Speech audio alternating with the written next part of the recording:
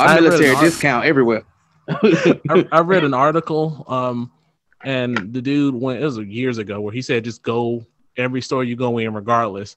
Ask what's the best price." Mhm. And a lot of times it doesn't work, but every now and then it does, Yes, even yeah. at the big box stores. Yeah, I'm not that kind of buyer, man. The the wife is, and she has saved me a lot of money. But me, I go in there, you know what? Here it is. I buy it. I'm gone. Mhm. But she is there I some mean, kind of discount? Uh, uh, unless I see uh military something, they support the troops Sure. some kind of way. Boy, I Yeah. slept I slept that damn military ID out like it's a black card, bro. Like, can I get my ten percent, please? Mm-hmm.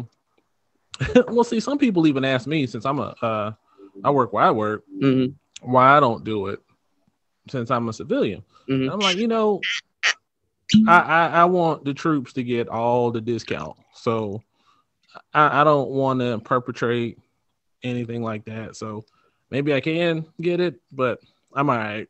There's We appreciate discounts that. I get. We appreciate. Yeah, so I am I'm not trying to, you know, go out and try to get a free meal or something. That ain't how I roll, man. Some people do though. Some people like, yeah, just show them your ID and you're fine. man. Nah, Veterans Day. nah. That, that killed me, especially. Yeah, I'm a vet. Oh yeah, how long you been in? Well, I got put out halfway through basic training, but uh, but you a vet though, Yeah. bro?